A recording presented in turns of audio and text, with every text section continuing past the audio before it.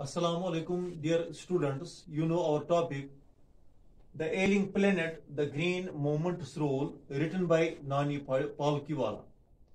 And you know that this is a newspaper article. And in this newspaper article, the writer talks about the deteriorating condition of our planet, that is Earth. Now the author says that tropical forests are eroding at the rate of 40 to 50 million acres per year. James Smith, the president of the World Resources Institute, says that we are losing the forests at an acre and a half a second. Now the author mentions that Article 48A of the Constitution of India provides that it is the duty of the states to make efforts to protect and improve the environment and to safeguard the forests and wildlife of the country. But the writer says that it is very sad that in India, laws are neither respected nor enforced.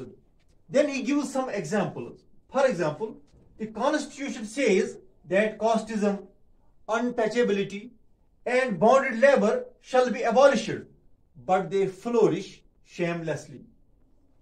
There is a general apathy towards the system of law, but people should respect laws rather than break them.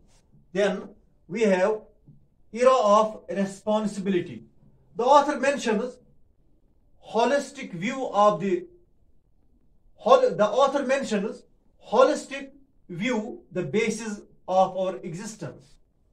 It means seeing the world as an integrated whole rather than a dissociated collection of parts.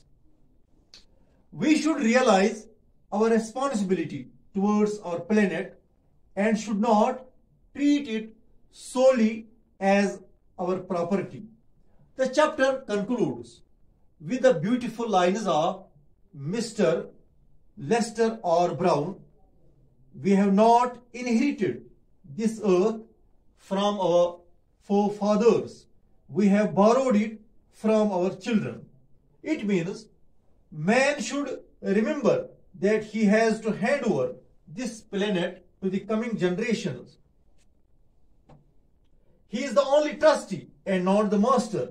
So we must be responsible and keep this earth healthy and flourishing for our children. Now let us have a look at the vocabulary. Sustainable development. It means a balanced development that meets the needs of the present while taking care of the needs of the future generations. That is sustainable development. Another is languish, remain unnoticed, inter alia, among other things, decimated, reduced drastically, catastrophic depletion, a harmful reduction in the number of something that is called catastrophic depletion. Ignominious darkness.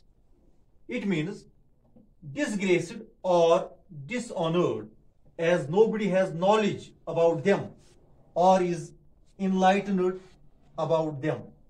Hope these important points and ideas may help you to understand this lesson fully. Thank you.